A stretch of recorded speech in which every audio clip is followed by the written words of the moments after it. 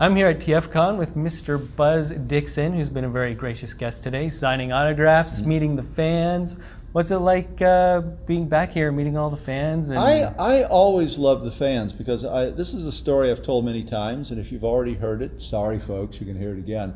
Uh, when I was a young fan myself, uh, the EC Comics bullpen was legendary, and they had they had been gone for about like 15 years. I mean, EC Comics, Tales from the Crypt, that sort of thing was no longer being published for about 15 years.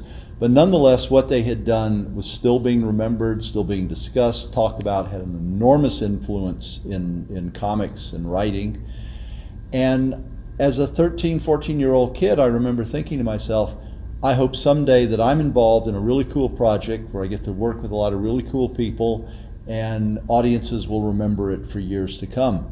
I got my wish. I'm, I'm come to these shows and people remember the work that uh, I did and other people did, such as Flint Dille on um, Transformers and G.I. Joe, all these other uh, Sunbow programs. And it, it is really heartwarming, and I'm not I'm not shining anybody on here. It is really heartwarming to hear the reaction after all this time that people still like it.